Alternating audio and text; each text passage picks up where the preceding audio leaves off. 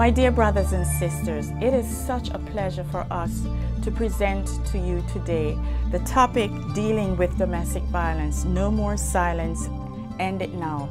My name is Dr. Mabel Dunbar, and I will be joined with my husband, Dr. Colin Dunbar, to share with you some information about domestic violence. But before we do that, please let's bow our heads in prayer. Father in heaven, we thank you so much that you bless us in so many different ways. We are so thankful that you have brought us together, that we can hear each other, even though we might be many miles away.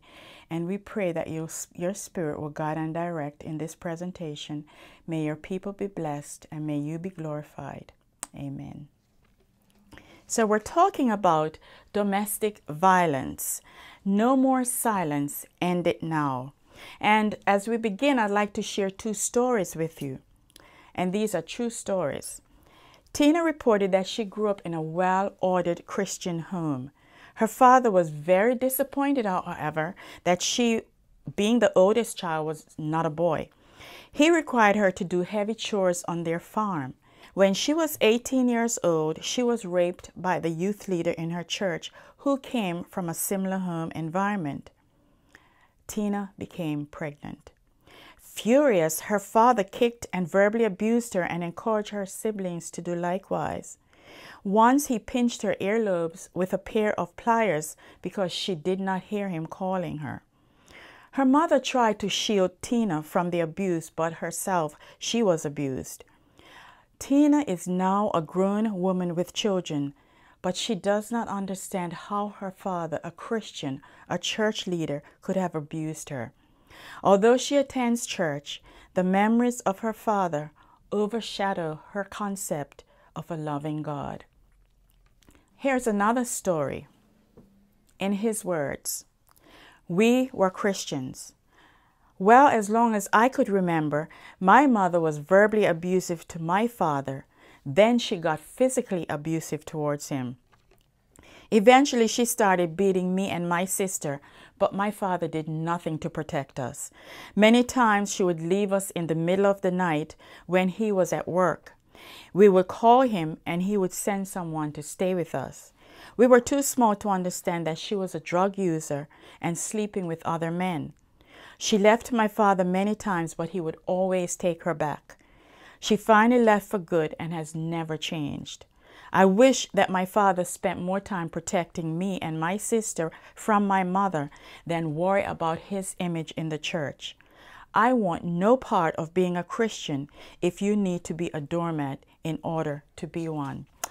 That story was written or was shared to me by a gentleman named Jim. That's a pseudonym, of course. So, what is domestic violence? Domestic violence is a pattern of abusive behaviors in relationships that are used by an individual to gain power and control in that relationship. It can be physical, sexual, emotional, economic, religious, cultural, institutional, or psychological actions or threats of actions that influence another person. This includes behaviors that intimidate, manipulate, humiliate, isolate, frighten, terrorize, coerce, threaten, blame, hurt, injure, or wound someone. Since statistics indicate that men tend to be more physically abusive towards women, my experience, however, has been, as I have observed, that women tend to be more verbally abusive towards men. But for clarity, I will refer to the abuser as he and the victim as she. However, I want everyone to keep in mind that anyone can be an abuser and anyone can be a victim. So let's talk about the directions of abuse. Abuse or domestic violence goes in any direction and it can be directed to anyone. For instance, husband to wife, man to woman, parent to child, child to parent, weak versus the old, rich versus the poor, minister versus congregation, employer to employee, race against race, culture against culture, white against black, black versus white, young versus the elderly, or the educated versus the uneducated. So we might ask the question why does domestic violence continue? It continues because Christians are targets of the enemy, and Satan wants to destroy the image of God in us. Every day, individuals are assaulted in their homes through physical, mental, spiritual, sexual, economic, verbal, and emotional abuse. But unfortunately, the Christian community has been slow to address this issue of domestic violence and sexual abuse as sinful acts.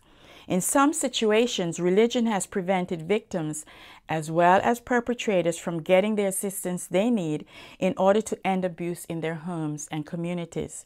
At times, the religious community gives negative messages to victims and perpetrators. I will list a few.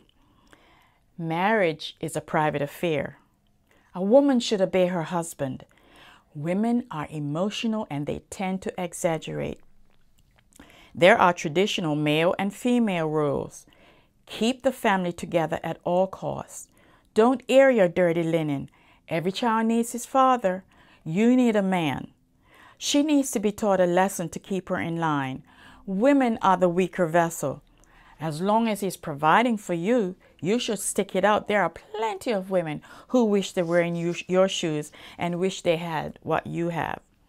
You can't make it on your own.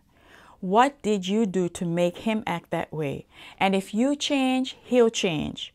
Pray about it. God will give you the strength to endure. The unfortunate thing about these messages is that sometimes the message that we think we're giving is not what a victim or perpetrator might hear. For instance, when we say to a victim, pray about it, God will give you the strength to endure, she's probably hearing, if God does not give me the strength to endure, then I am not a good Christian. Or God must, must not be answering my prayer because I don't have the strength to endure. So, as we continue, my husband is going to talk about religious communities and how religious communities have used text out of context to ignore abusive relationships and systems or to condone abuse.